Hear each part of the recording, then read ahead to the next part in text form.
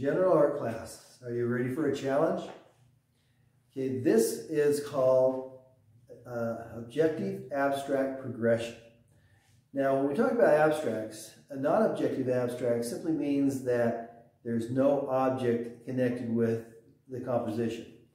Um, things like Jackson Pollock's uh, paintings where he was just dripping paints and things like that, there's no object involved. It's simply a design, a composition in color and movement and things like that. An objective abstract is a little bit different. That would be where either there was an object that was originally the concept and you can see remnants of that object. Um, sometimes they're, you know, you can see everything very clearly. They're just abstracted a little bit. That would be like Marc Chagall, where he has different objects being different sizes, way out of scale things. And so let's look at uh, what we're going to do. Now you're going to take your larger sheet of paper. This is 15 by 11. And we're going to divide it up into four quadrants. Now you can do it, you know, vertically, like this, and divide it in quarters. Or if your subject matter happens to be very tall and slender, you can do it this way. Okay? Or you can go landscape. And in that case, four quadrants, or as I did with my demonstration that you're about to see, I did it this way because it fit my subject matter. Now, if you're going to do it in a quadrant like this, you can either go one, two, three, four, or you can go one, two, three, four. You know, but make sure that they're connected. Okay, so let's look and see what I did. Let's look at some examples of objective abstract. Now this is Henri Matisse, and this was late in his life when he started to do collages and things like this. So this is a paper cutout actually, but it's the fall of Icarus. So those of you who know your Greek mythology. Okay, this is another objective abstract because first of all, the table, if it was really shaped that way, everything would fall off of it. And so he's flattening things out. He's also not worried about depth perception. He wants everything to look flat. This is just trees, a little landscape that he did. The chief function of color should be to serve expression. Now this is Jean Miro. Miro was um, a Spanish painter. He was a surrealist. And so there's objects there. You can see you know, worms with faces and walking creatures and all sorts of things. Definitely not realistic. There's a rooster. But you can see the way he's painted it, you know, it looks like tiles. I try to apply colors like words that shape poems, like notes that shape music. Okay, now this is Marc Chagall, and uh, you've heard of Fiddler on the Roof. Well, that whole play was taken from uh, his paintings and, you know, the concept of it anyway. But look at how he's uh, put figures inside of other figures uh, figures that are upside down, you know, everything. And so even though they're objective and very recognizable, they're juxtaposed in very unusual positions. Once again, here's a man who is a bass viol, and yet you can see he's looking straight at us, but also looking to our right. Um, you've also got a goat that's playing the violin. And so, you know, objective you can see the objects, but they're definitely not realistic. And you've seen this one before. This is the Eiffel Tower that uh, has a face on it, and uh, you've got the rooster that's almost the same size, figures in the background. And so by creating things that are out of scale, they become um, abstract. Great art picks up where nature ends. Pablo Picasso was one of the most innovative artists of, of his day and basically most innovative artist of all time. Had a lot of skills, but he was always experimenting with different styles. So this is a self-portrait. Definitely abstract. I mean, the lady with the green face, look how narrow her neck is. Two, uh, two trapezoids come together, and that's the neck. Spaniards love the bullfights, but they're also very, very gruesome. And so this is his abstract of the bull fighting with the horse. Woman with a mirror. Okay, definitely not realistic. I paint objects as I think them, not as I see them. Okay, so what I did was I set up a very simple still life. And basically, it started off as four objects. The uh, olive oil bottle, apple, book, and this is a mug. But I learned, uh, since I got started drawing it out, I decided that I'd eliminate the mug.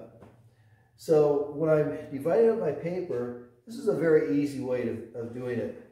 You can see that I tilted the ruler so I put zero here and 16 here, that meant that I could divide it very easily into four equal parts. So 4, 8, 12. This is a drafting trick that uh, you should know. And then here's my mark there, there, and the other one's right along there. And so that means that then I could move my triangle along and just go ahead and divide it up. The next thing I did was I sketched out my drawing. And each time I did the drawing, I'm thinking to change it a little bit so that it's not quite as realistic, but change it into something that's a little bit abstract. And so the first thing I did, oops, wrong way, was I started with this one and I painted the book. Okay. Now I'm trying to make this look a little realistic. And so there's my olive oil bottle, my apple. And then this had black tape on it, you know, with the bottle cap. Okay. So the second, the last one I added, uh, I think the, the color of the book pages. And so this time when I painted this, I decided to bring the red all the way up. Okay. Now, I put in the edge of the books, which is a little bit darker because it's in shadow. And now I put it in the black up here. And so, as you see, I'm trying to simplify everything as I progress through it. And so, the apple's not quite as detailed. It's getting a little rounder. Okay, now I started on the third panel. And once again, I'm trying to make things very, very simple.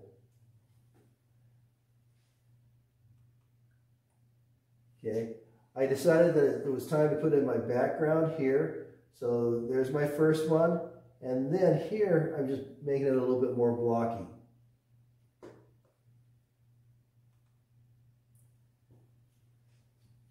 Okay. Now, you'll notice I've also changed the shape of the bottle. It's no longer the rounded shoulders. Now I'm trying to make it a little bit more angular. I'm also not concerned with it being symmetrical. The apple has become much rounder, still has its stem.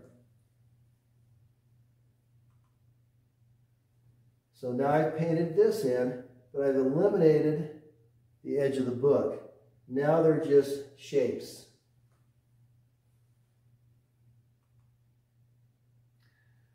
Okay. Now, this time, I've taken the red up here and around the bottle. And so I'm losing the shape of the book. But I'm repeating this rectangle because I think it looks nice. And it gives, breaks up this space down here.